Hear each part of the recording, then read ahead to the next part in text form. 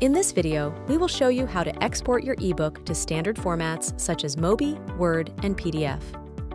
If you're planning on uploading your ebook to Kindle, then you can export your ebook as a Mobi file. This way, it can be viewed on any Kindle device or app.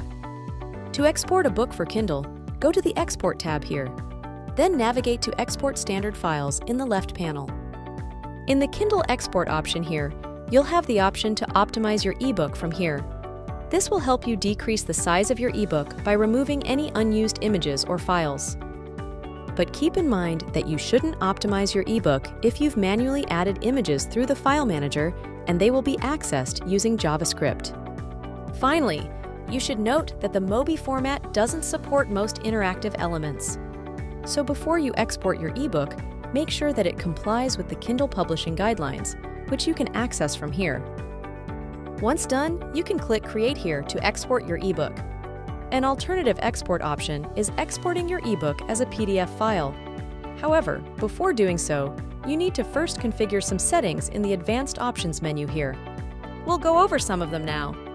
If you encounter minor errors during the PDF generation process, you can continue generating the file by enabling the Ignore Errors option. This will allow the process to proceed despite the errors. For creating individual PDF files for each chapter of your ebook instead of a single PDF file for the complete ebook, make sure to check the box next to separate chapters. Next, you can enhance the readability of your exported PDF file by adding custom margins. This will create a white border around the ebook's content. You can set unique margin values using these boxes here.